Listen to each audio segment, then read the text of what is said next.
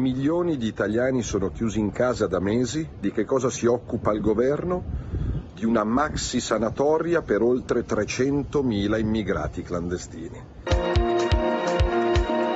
Non regolarizzare queste persone significa essere i protagonisti principali della diffusione dell'illegalità.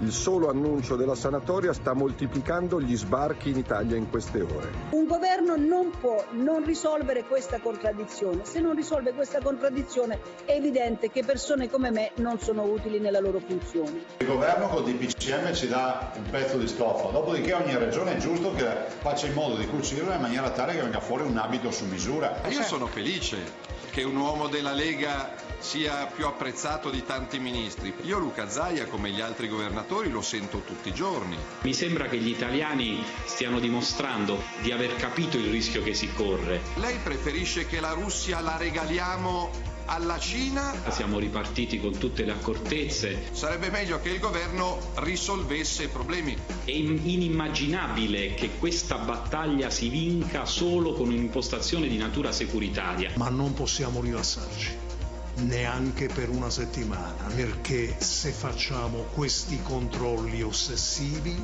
stiamo tutti quanti più tranquilli